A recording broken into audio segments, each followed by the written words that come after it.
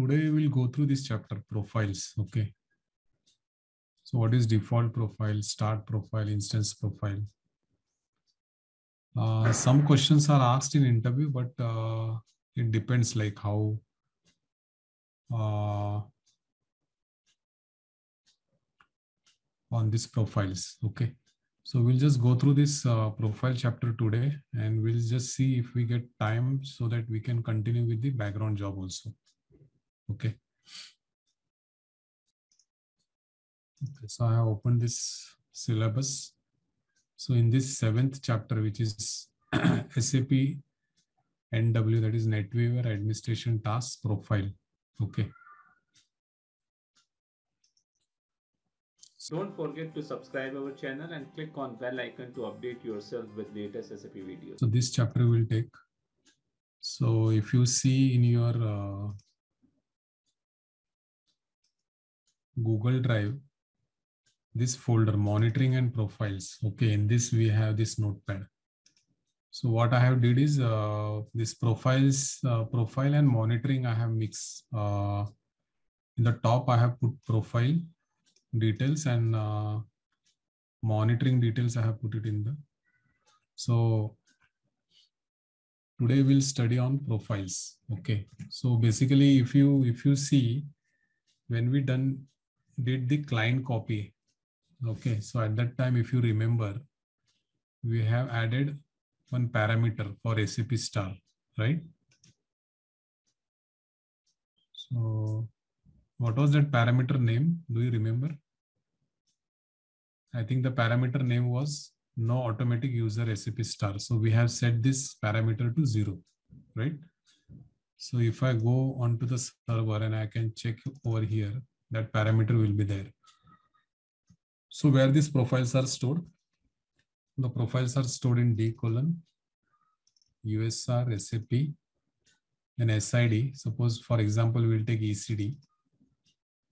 And in sys folder, there is a profile folder. Okay, so at operating system level, it is stored in profile.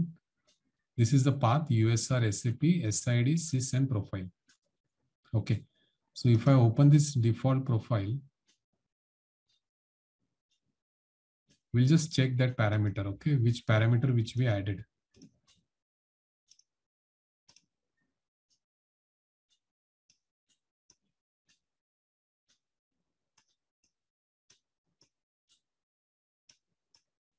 So can everybody see this uh, parameter? This was the parameter which we added, right? Login, no automatic user SAP star, which we added to zero. so everyone can see the screen, right? Yes, sir. I will just increase the font size. So this was that parameter which we added. Okay. So if we see here, we will we'll go step by step. Uh, what is start profile? Okay. Generally, we don't touch the start profile because the uh, after installation, all these uh, parameters are added to the start profile. If you see, this is a start profile. But we don't make any changes in this profile because what happens like if you're sure uh, you can make the changes otherwise what happens the system doesn't get started okay if by mistakenly if you if you add some parameter and you you are not sure on that system doesn't get start okay so what is start profile start profile contains the starting parameter for the instance means when the instance is started okay so that parameters are And what is the naming convention? The naming convention is start, the instance name, and the host name. If you see here, start underscore the instance name, host name. So this is the start parameter. Okay. So start parameter is nothing but, or the start profile is nothing but the starting parameters are there in this start profile. Okay. Now what is default? So default.pfl contains global parameters that apply to all instance. That means what? Like if we, if we, if I add the parameter in this default.pfl, okay, so it will be applicable to, it will be applicable globally, okay, to all the instances. Okay. So now this, this parameter once, once I added, so it is applicable to all the instances. That is default profile.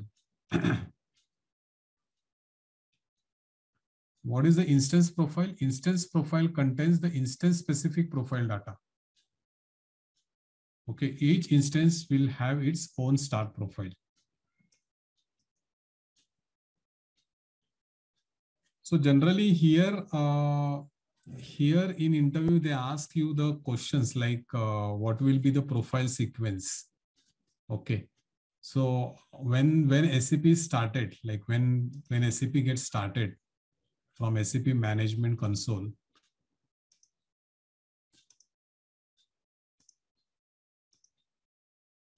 if I go into don't forget to subscribe our channel and click on bell icon to update yourself with latest SAP videos. SAP management console.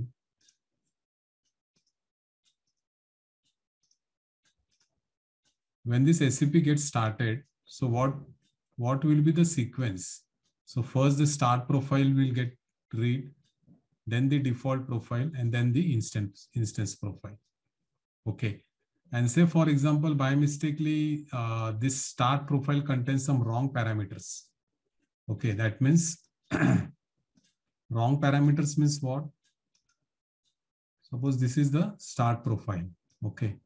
Suppose here by mistakenly there is some wrong parameter. For example, this host name is GISR01. Instead of 01, it is 02. Okay, by mistakenly someone has updated it. So SAP will start or it will not start.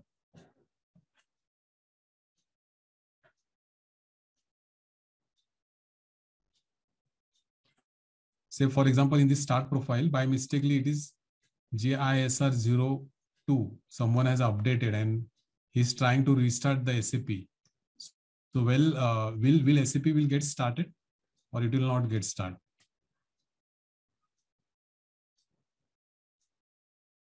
Bharat uh, or Ajinkya, anyone can answer. Nilesh, Neha.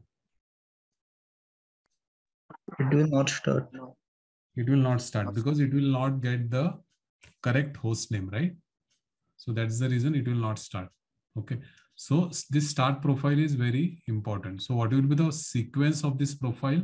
When SAP is started, the sequence will be first it will read start profile. It will check whether the, all the parameters are correct then it will read the default profile and then it will read the instance profile. Okay. So now here uh, in this profile chapter, we will be uh, learning these two transactions. Okay, RZ10 and RZ11. Now what is RZ10? RZ10 is used to make the changes in the profile parameter. Okay, in the prof the parameters basically. So now what we will do is, so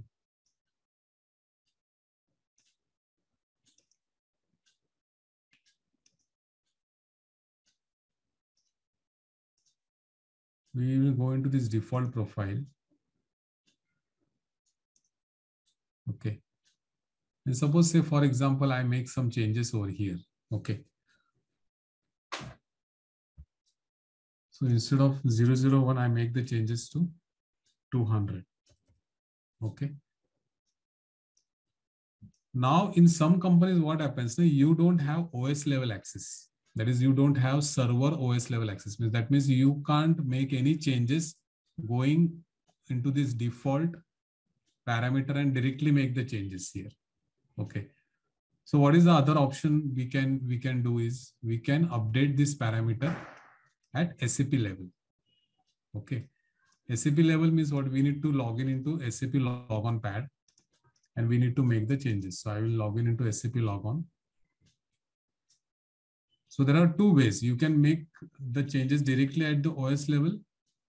OS means operating system level or server level, or you can directly go and make the changes at the. So there are two two ways you can make the changes in the profile. Okay, so I will just log in into 200. So it is it is very much uh, required that you need to log in into the productive client.